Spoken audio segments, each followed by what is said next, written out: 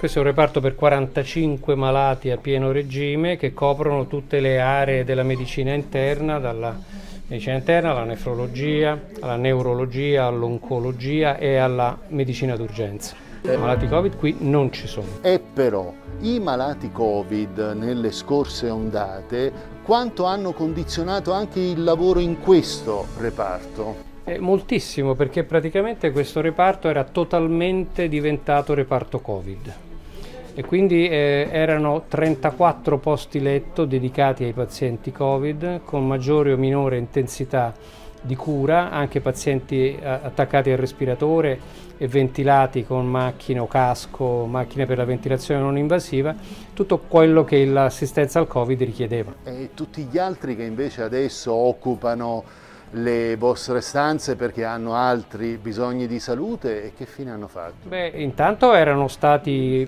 occupati gli altri eh, reparti dell'ospedale e parzialmente erano stati destinati a seconda della specialità ai pazienti che avevano maggiormente bisogno. Però il problema grosso è che ormai è noto ed è chiaro è che col Covid c'è stata una notevole riduzione dei ricoveri e dell'assistenza ai pazienti non Covid, problema che adesso stiamo cercando di recuperare.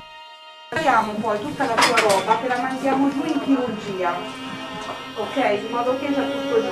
4 milioni di screening di esami che sono saltati, un milione di interventi programmati che sono slittati, è stata recuperata questa massa importante di risposta alla salute per il cittadino? Guardi, alcune stime parlano anche di cifre ancora più eh, rilevanti e ancora maggiori. Eh, sicuramente non è stato recuperato tutto questo eh, numero, gran numero di prestazioni che non sono state realizzate, lo stiamo facendo con le difficoltà adesso di riaprire le strutture ma di essere pronti a riaprire i reparti Covid nel momento in cui dovesse essere necessario. Lavorare adesso su due binari paralleli per l'assistenza ai malati Covid e ai malati non Covid è l'esigenza di tutte le strutture ospedaliere. Si è ribaltata la, la situazione, l'emergenza Covid è iniziata in Lombardia e nelle regioni del nord e il sud, le isole erano relativamente esenti.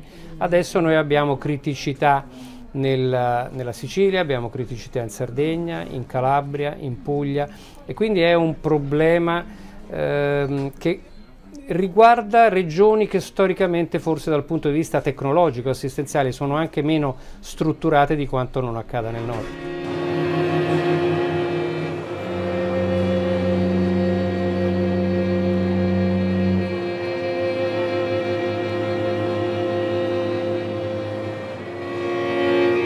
Purtroppo proprio per le malattie tumorali siamo arrivati adesso a vedere i pazienti già in fase più avanzata nel momento in cui li abbiamo questo visti che vuol dire, ambulatoriamente. Da un e punto di vista terapeutico? Dal punto di vista terapeutico è che in qualche caso può esserci anche difficoltà a cominciare una terapia o a intervenire su un paziente la cui malattia è già andata avanti e magari è arrivata in una fase di difficoltà di cura o di non possibilità di cura. Si riduce quindi la speranza si riduce la speranza di guarigione, la speranza di trattamento per, per molti pazienti.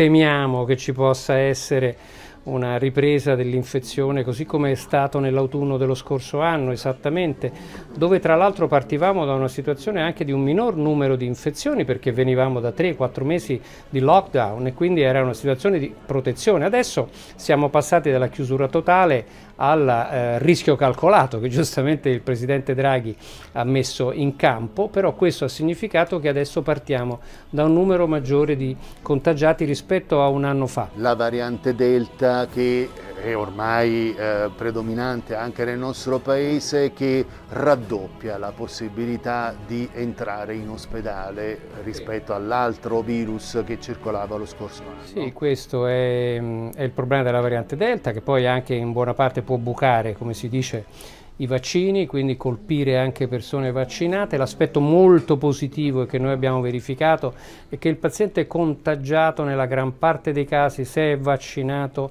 ha una malattia molto lieve o addirittura senza nessun sintomo, si finisce in terapia intensiva in un numero molto minore di casi I dati sono molto chiari, oltre il 90%, addirittura 95-96% dei pazienti ricoverati o intubati sono persone non vaccinate o soltanto con una dose di vaccino, quindi nella fase ancora di eh, preparazione alla vaccinazione completa.